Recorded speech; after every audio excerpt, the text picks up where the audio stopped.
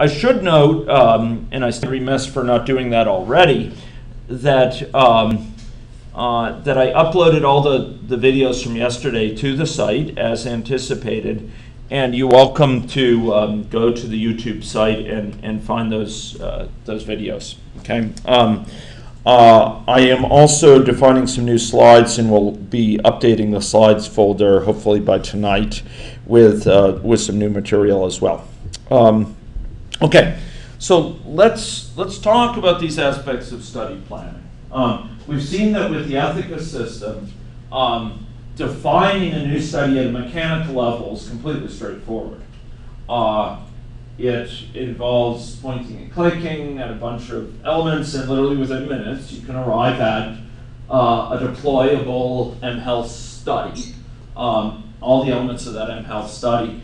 And people can, on iPhones or, or Google smartphones, Android smartphones, they can go and, um, and opt in. Um, but that belies the fact that um, beneath that is a whole edifice of needing to think what study do we want to build. So, in short, Ethica has, uh, I think we could generally say, transformed the situation from one where we're where the work goes on in building the study and implementing it and realizing the, the software for it and testing it and all that sort of work that, that has to go into uh, the technical components of mHealth traditionally. It's transformed that to be um, something that's uh, much more um, contained and and small in its in its footprint as far as time for, for health researchers is concerned. It can be done very quickly. Where the real thinking has to go on is the study planning, the study operation, and then the analysis phase. And uh, uh, in those areas, uh, um, I'm hoping to, in all those areas over the next few days, I'm hoping to provide some, some pointers. So, you know, broadly, if you look at the literature related to, to mHealth, uh, to mobile health, um, uh, we, can, we can broadly characterize much of it as, as distinguished into two pieces. Uh, cases where smartphones and mobile technologies, including wearables, are used for surveillance purposes and where they're used for interventions. And I would argue that the intervention focus is actually remains more prominent in the literature, although there's certainly a lot uh, on this area of, of, of, using them as, as tools for gathering information, for monitoring, or what I'll use in a very broad sense as surveillance, okay? Um, and uh, the truth is there's a certain amount of of both that goes into many studies.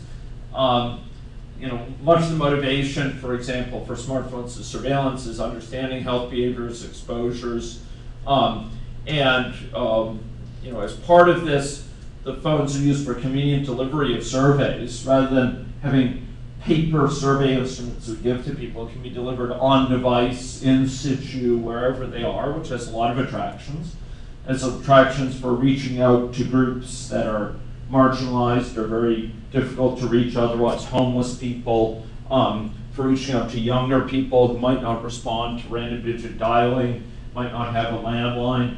Um, and, uh, and it can involve convenient delivery of these ecological momentary assessments at, at random times during the day or at triggered times, right? Triggered by context.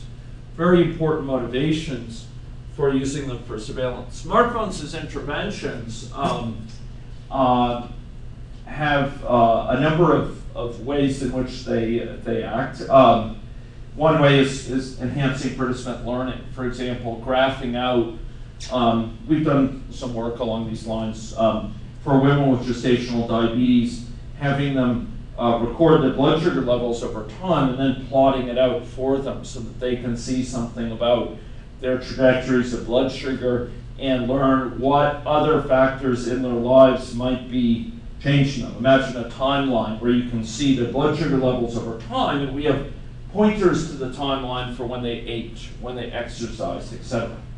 Um, SmartPost's interventions can, can trigger sort of reflection. Um, some of uh, my colleague Regan Mandryk's work here, and, and some of it uh, uh, that, that has gone on with the IEPI system is, is worthy of note. So, you know, she had this food photo, photo food diary where people were asked to take photos of the food and comment on them um, in terms of healthiness and, very importantly, later reflect on them.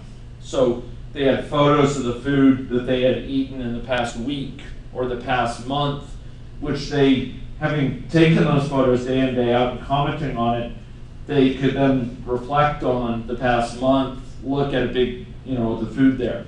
And that's what uh, one of the aspects of what Kevin refers to as a more perfect mirror. You know, provides people um, some ability to go from each meal in isolation to the bigger picture of what are they eating, what are they filling their bodies with day after day. Um, and you might notice patterns there that weren't otherwise immediately evident in the moment-to-moment experience of, of, uh, of um, the puzzle bustle of each day. Particularly when you start adding up the, the snacks and um, the sugar sweetened beverages, etc. Uh, another you know, big modality for M Health here is messaging to participants. You know, messaging that's preset or that's contextually triggered.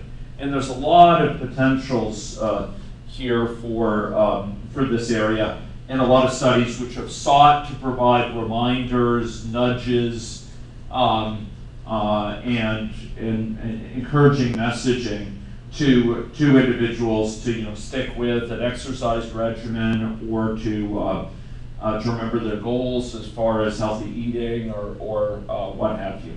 Um, uh, some, some smartphones and interventions have sought to work through social sharing, um, and others in terms of um, uh, building networks is, is one component uh, related to sort of intervention studies that some have explored. And, and some of our colleagues, formerly in Canada but now in Australia, um, Penny Hawe and, and Alan Shiell talk a lot about the importance of building networks as part of complex interventions. Um, and uh, smartphones can play a role in all of these areas.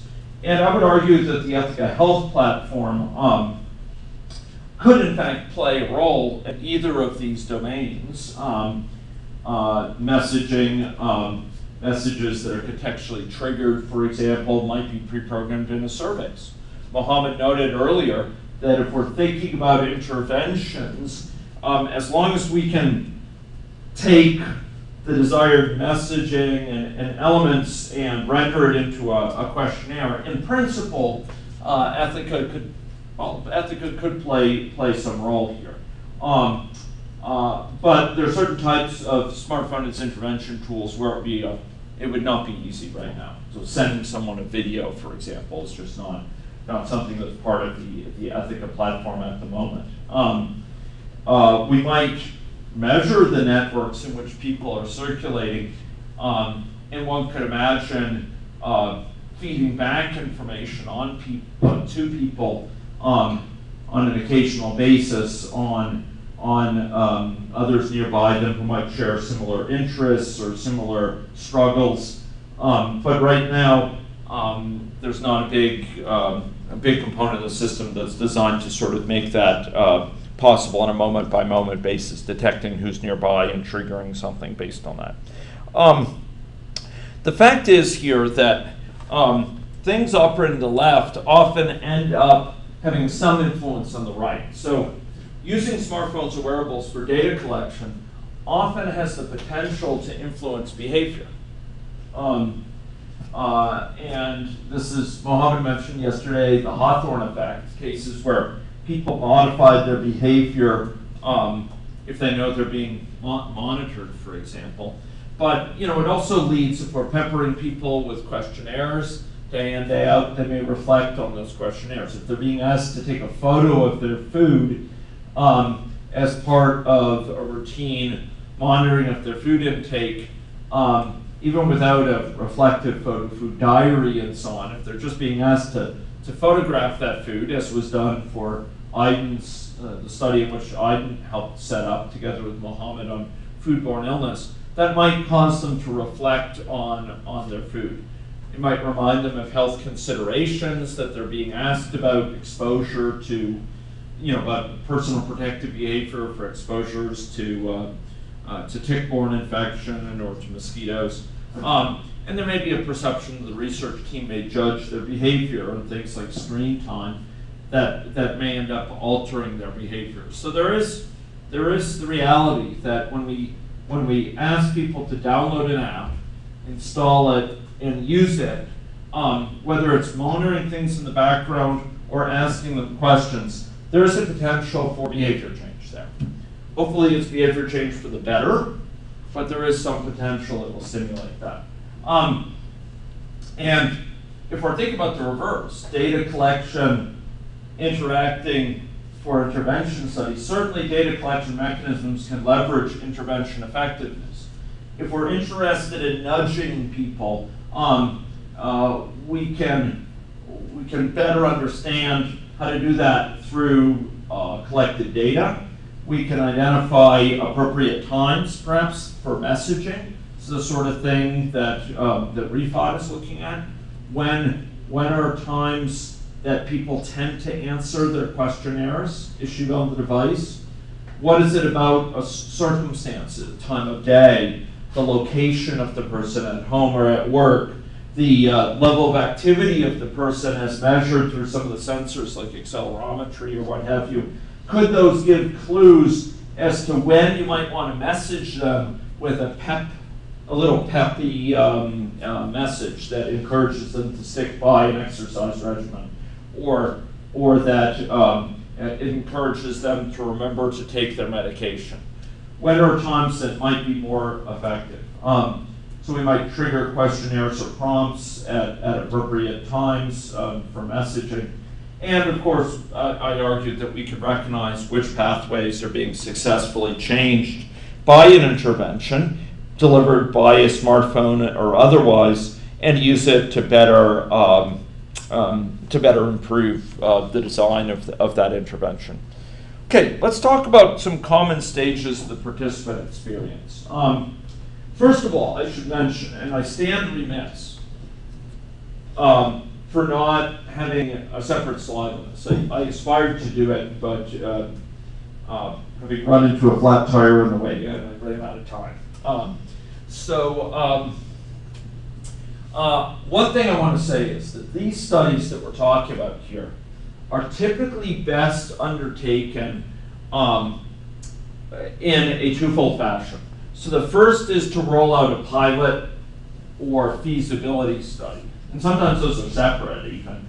But um, the feasibility study being to understand, you know, how, to what degree is this going to fly in terms of asking people to take photos of this circumstance or, or to, to get them to answer these questions this many times per day. To what degree are they really going to be able to be willing to wear that watch day in, day out? To what degree are, are caregivers really going to be willing to take the time to put a watch on an infant, you know, to, to recognize stress levels or on, on a young child? To what degree is that watch going to survive the challenges and the challenging environment of young children. Uh, the fact that there's sometimes uh, uh, liquid intrusions on, on the childhood environment. Um, to what degree are there, um, uh, uh, is, is someone going to be willing to, to give a response to a free-form question, whether by audio or by, by text? To what degree are they really going to take the time to do that? These are feasibility questions that are often uh, fairly fundamental. And by running a feasibility study, you can get you know, significant insights about what's going to fly, what might not. And you might alter your study accordingly. For example, one study we're involved in right now, and this is, this is a pattern that I've seen uh, for several, um, uh, you know, uh, recognize that while we'd like to get this sort of uh, detailed information, um, it might be too much. And so we'll, we'll give each participant um, a, lower, a lower burden regimen for the study as a whole, but, but ask them for one week's time to go that extra mile and record things in more detail, to, to provide that extra level of, of insider detail, to be aware. And we saw how it could be enabled yesterday via the, the interface that certain types of sensors will only be enabled for that week, or certain types of surveys will be asked more, or they'll be asked for that particular week to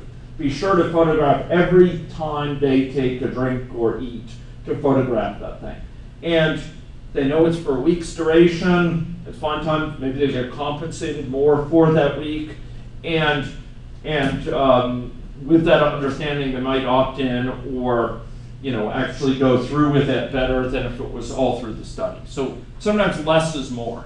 Um, and um, that's something we could, we could probe with a feasibility study or adapt to with a feasibility study if we decide that certain regimen is just too onerous. You know, we end up going with one where it's very defined duration um, in a way that's shared with participants. So the point is feasibility studies on the one hand and pilot studies which look at, you know, the uh, uh, testing out the anticipated regime for any issues for, from the standpoint of the amount of time that's required on the part of study personnel um, that help us understand for those study personnel um, the level of technical expertise they're going to need to answer participant questions.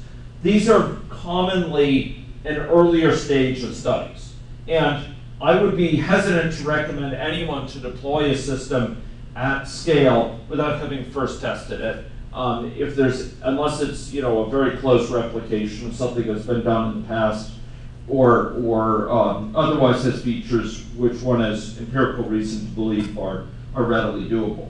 So having a separate feasibility slash pilot phase um, is very attractive for practical reasons and for ethics, as it turns out, because you know the ethics review board will often be expecting uh, in a feasibility study a certain amount of rejigging of things and they're not going to raise eyebrows like they would if you rejig a full study.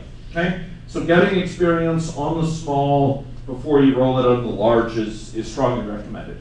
What are some stages of participant experience for a, a broad study? Well, encountering promotion, learning more about, so there might be a website that would clue you in to features of this study.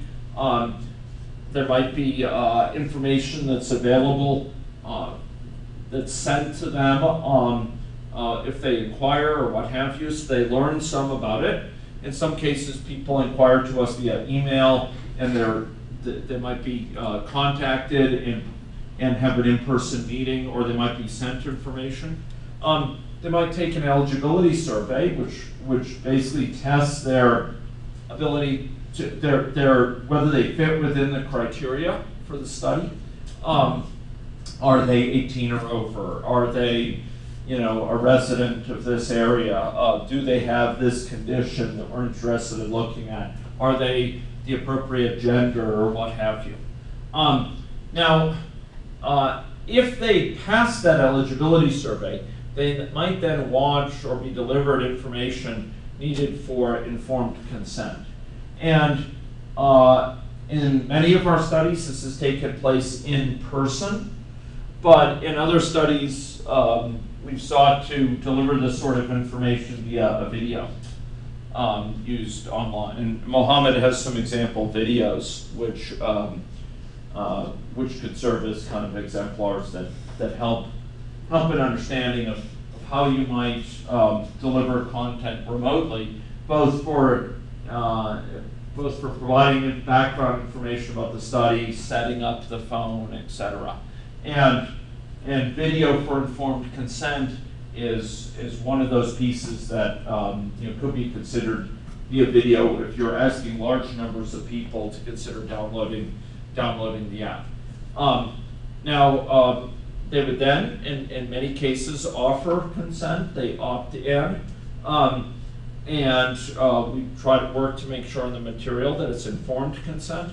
Um, this process is more involved if it's a child that's being sought because there's parental consent and then uh, child assent if the child is old enough to sort of opt in. And if the child opts out, even though the parents offered consent, the child's not going to be in that study. Okay, so and you need to deliver material for this that's you know age appropriate, etc. Um, now, if they do opt in though, and assent is given for a child, then there there to be an entry survey, an entry questionnaire that's a baseline questionnaire that would gather their information. And this would often include things like their demographics, aspects of their background, um, little changing types of information. You know, have they smoked 100 cigarettes or more in their life? That sort of information. Um, and then there's going to be a long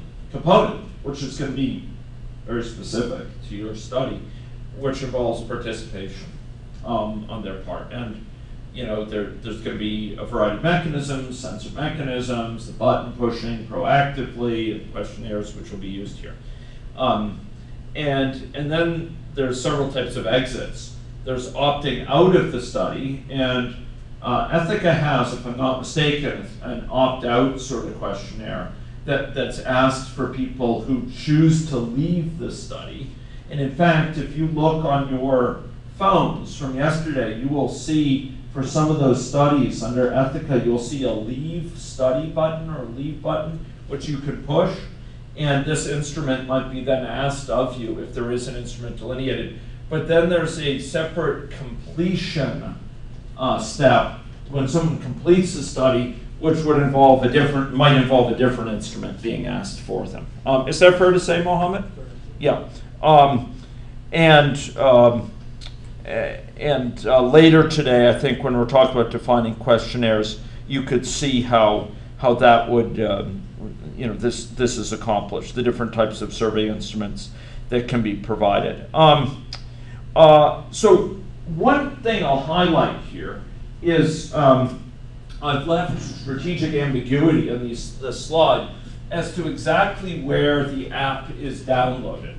Okay, so at a mechanical level, when in this process have they downloaded the Ethica app on their iPhone or on their Android phone? Well, uh, Ethica does support asking eligibility surveys on the device with the Ethica app.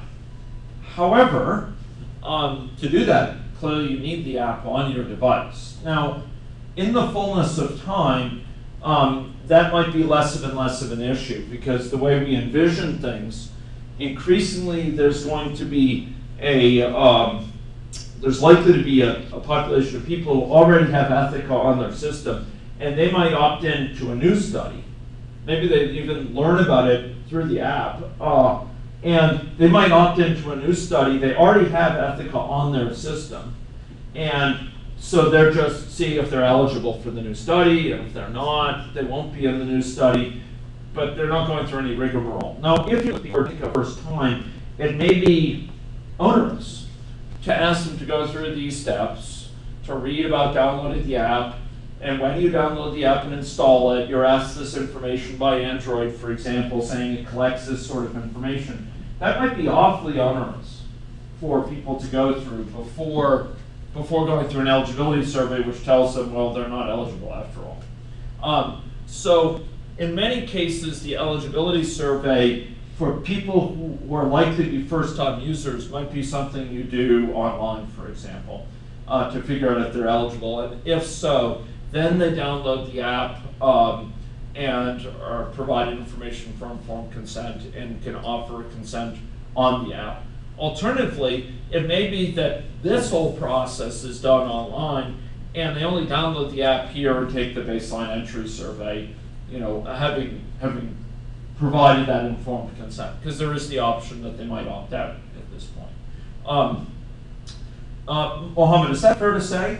Uh, yeah, and one thing to consider is that uh, based on the ethics application, whether we are allowed to uh, record any data uh, before they have provided their consent, because they have to Good pass point. the eligibility survey first, then they give the consent. So if they they don't consent, are we allowed to report that their responses to the questions that we have asked, or we are not? And usually the answer is that we are not allowed to, to report those data. We discard those. So uh, right now, the way that the app operates is that no, nothing is recorded from the time before they actually consent to join the study. So basically, you don't get any responses about the eligibility surveys. So uh, it's a bit tricky because you don't know why they are ineligible. Uh, and I assume if we want to have the same approach on the website, yeah, on the website, it should follow the same uh, Protocol. the same pattern. Yeah. Uh, Yeah, and, and we'll be spending significant time talking about the ethics uh, side of things tomorrow. Uh, but um, that's a very good point. Um, so, you know, where you draw the line here will probably depend about where they actually download the app, and it will depend again on whether people are likely already have it or or, or not. Okay. Um, so that was a little bit on the participant experience, and what I'm going to